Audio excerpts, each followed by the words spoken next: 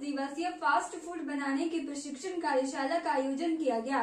इस कार्यशाला में जिला सोलन के करीब 20 प्रतिभागी भाग लेकर फास्ट फ़ूड बनाने का प्रशिक्षण ले रहे हैं।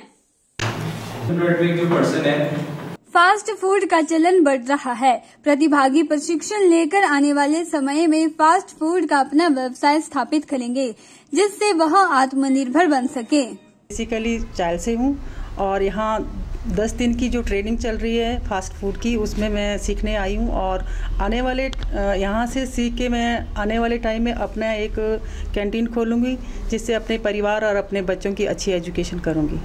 फास्ट फ़ूड देखा जाए तो आ, आने वाले टाइम में एक बहुत बड़ा बहुत बड़ा एक फ्यूचर प्लान है स्टूडेंट्स के लिए जो जिनको जॉब नहीं मिल पाती तो यहाँ से ट्रेनिंग लेके फास्ट फ़ूड ट्रेनिंग लेके मैं खुद का एक रेस्टोरेंट स्टार्ट करना चाहता हूँ और उसके आ, आने वाले टाइम में उसको as a franchisee based business में मैं कन्वर्ट करना चाहता हूँ एंटरप्रेन्योरशिप के माध्यम से। जिससे वह आत्मनिर्भर बन सके। यूको ग्रामीण प्रशिक्षण संस्थान के निदेशक रोहित कश्यप ने बताया कि फास्ट फ़ूड का प्रशिक्षण बेरोजगार युवाओं को दिया जा रहा है, ताकि आगामी समय में वह आत्मनिर्भर बन सके। उन्होंने कहा कि इसके अलावा भी संस्थान विभिन्न तरह के प्रशिक्षण समय समय पर करवाता रहता है। आज सभी दर्शकों को यह बताना चाहता हूँ कि यूको आर सोलन में आज से 10 दिवसीय फास्ट फ़ूड स्टॉल उद्यमी की ट्रेनिंग शुरुआत की गई है जिसकी आज। और इसका उद्देश्य यही है कि जिला सोलन में स्वरोजगार के नए नए आयामों को बढ़ावा दिया जाए।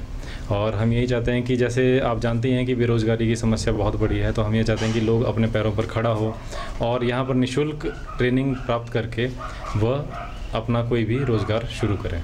तो मेरी सबसे यही गुजारिश है कि वे हमारे पास पैंसठ तरह के ऐसे कोर्स हैं जिनमें हम प्रशिक्षण प्रदान करते हैं और निशुल्क प्रशिक्षण प्रदान करते हैं। के चैनल के लिए सोलन से अमरप्रीत सिंह की रिपोर्ट।